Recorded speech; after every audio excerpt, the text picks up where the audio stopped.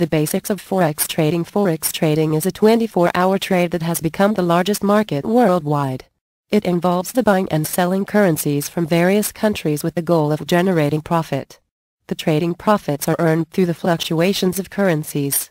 The trading is always done in pairs of currencies such as the United States dollar and the Japanese yen or euro and the United States dollar.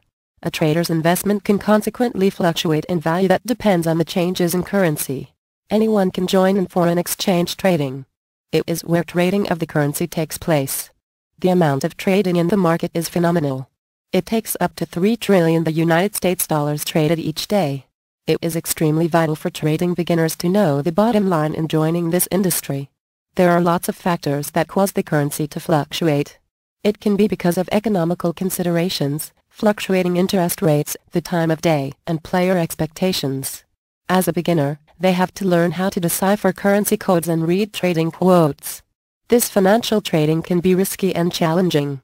However, lots of individuals have already profited from their trading transactions.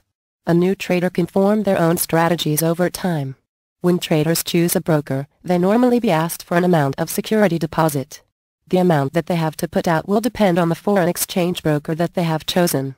As a beginner, it is necessary to ask questions, such as how much it can be for initial trading cost.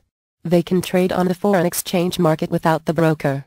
However, it can offer an extremely small chance of profit especially financial trading is new for a trader. Winning and losing are just a pattern in currency trading. The main purpose is to lower down the losses and uphold the profits. Equipped with the best strategy, good background, and wise decision making there is an excellent chance for a newbie to succeed with forex trading.